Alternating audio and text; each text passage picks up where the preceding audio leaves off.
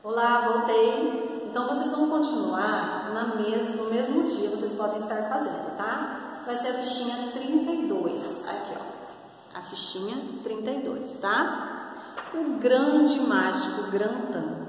Então seria em duplas, mas como nós estamos individualmente em casa, cada um vai fazer o seu.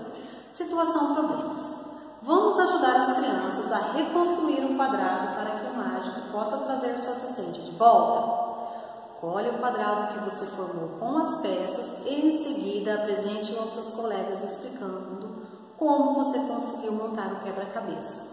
Então, ó, o quadrado que vocês vão estar fazendo é esse aqui, ó, tá? Esse aqui para a fichinha 32, tá bom? Essa 31 é só de molde para vocês tentarem fazer, tá? Deixem ela que nós vamos usar ela numa próxima fichinha, onde vocês vão ter que fazer outra coisa também que eu vou explicar. Mas esse aqui é só para um treinamento, tá bom? As peças são bem parecidas, tá? Vocês vão colar então para mim na fichinha 32 esse daqui, tá? Tentem fazer, montem, desmontem de várias formas.